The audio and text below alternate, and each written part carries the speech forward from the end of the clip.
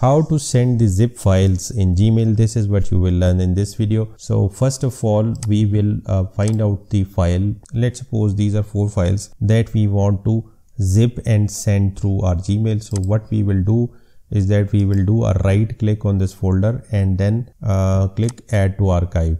So it will create a zip folder which you can see over here.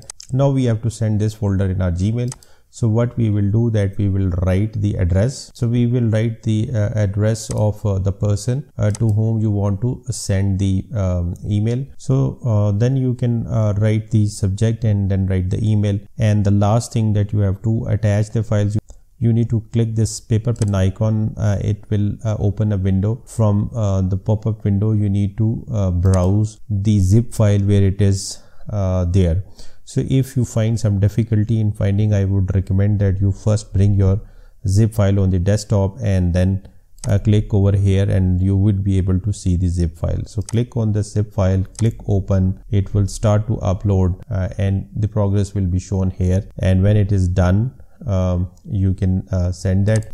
So there is another way of uh, attaching these zip files and that is that you can simply uh, drag this uh, zip file and bring it uh, here uh, and then just release this. So you will see that uh, the files uh, have been uploaded and you will see the name of the file here the how many bytes are there and then you can just press send and it will be sent.